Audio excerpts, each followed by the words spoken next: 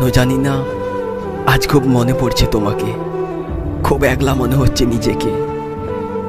শুনেছিলাম ভালোবাসা নাকি জীবন রঙিন করে, হাসতে শেখায়।